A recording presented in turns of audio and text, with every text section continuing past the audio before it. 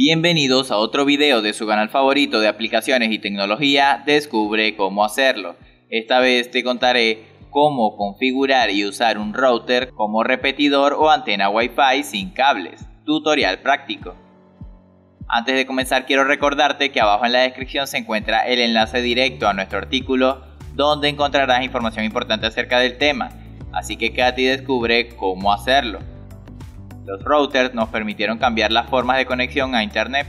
Estos sustituyeron la utilización de cable e infraestructura por el uso de dispositivos mucho más pequeños y de fácil configuración para una mejor captación de señal por parte de los dispositivos. Aparte de la función de red inalámbrica, los routers también pueden funcionar como repetidores de señal. Por medio de esta configuración puedes aprovechar routers viejos que no estés utilizando para tener mayor señal y poder conectarte sin problema. Si quieres configurar un router como repetidor para aumentar la señal de Wi-Fi, estos son los pasos que debes seguir. Pero antes debes saber que la mayoría de estos dispositivos poseen fireware distintos, pero esta aplicación puede guiarte bastante ya que tienen ciertas similitudes. Lo primero es iniciar sesión en el router. Debes encenderlo y conectarlo para que luego accedas por medio de un móvil u ordenador. Para esto accede al navegador y escribe la dirección IP del router. Esta se encuentra en la etiqueta, pero la más común es 192.168.0.1. Al abrirse la página debes iniciar sesión colocando el usuario y contraseña, la cual también debe estar presente en la etiqueta del router o en la caja. Lo siguiente a hacer es cambiar la dirección IP. Para esto vas a irte a la sección de Network seguido de LAN. Esta es la que corresponde de forma general. En este apartado debes cambiar la dirección IP por la que posee el router principal, pero con la diferencia de que el último número de esta dirección debe ser uno superior.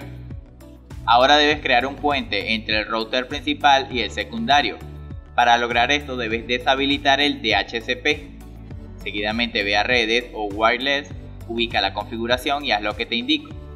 Primero coloca el nombre de la red, el cual debe ser igual en ambos routers elige un canal distinto en cada router para que no tengas problemas de interferencia y por último activa la opción Enable WDS.